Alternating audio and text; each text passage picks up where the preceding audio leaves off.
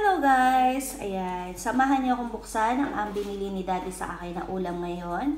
And actually, gagawin ko siyang pulutan because napakasarap niya and napakayami niya. So, ipapakita natin sa inyo. This! OMG! Actually, ito kinain ko nung isang araw.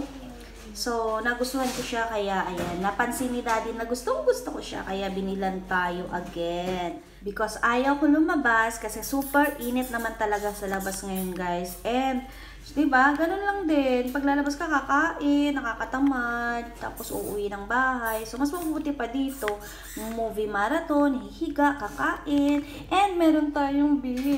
Yan guys. Oh, so, ayan, may beer tayo while watching movie guys. So, buksan natin yung beer natin. Mm, yan.